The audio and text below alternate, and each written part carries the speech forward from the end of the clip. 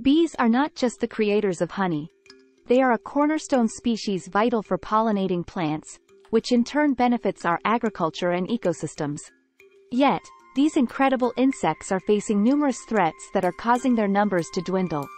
Today, we're going to delve deep into the urgent topic of saving the bees and why it's crucial for our planet's future. First, let's talk about the role bees play in our environment.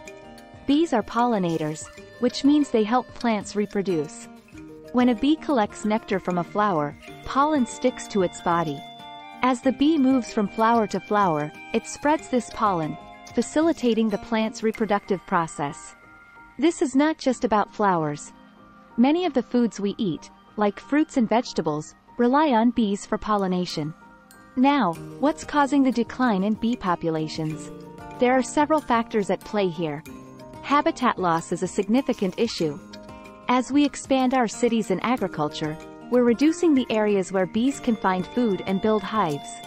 Pesticides, particularly neonicotinoids, are another major concern.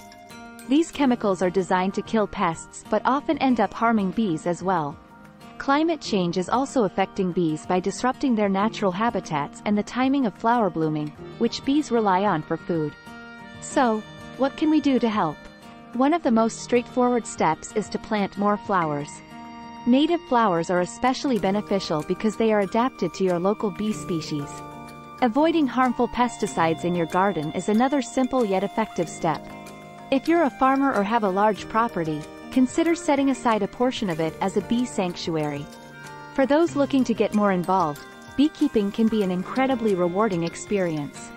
Not only does it help increase local bee populations, but it also provides you with fresh honey. However, beekeeping is a responsibility that requires proper education and commitment. If you're interested, start by researching and maybe taking a local beekeeping course. Governments and organizations are also stepping up efforts to save the bees. Programs that incentivize farmers to create bee-friendly environments are becoming more common. Research into bee-friendly pesticides is ongoing, and some countries have already started banning the most harmful chemicals. In summary, bees are an indispensable part of our ecosystem and our agriculture. The threats they face are complex but not insurmountable. By taking both individual and collective actions, we can make a significant impact in saving these vital pollinators. Don't forget to subscribe to our channel. It truly helps us out and ensures you don't miss out on more insightful content in the future.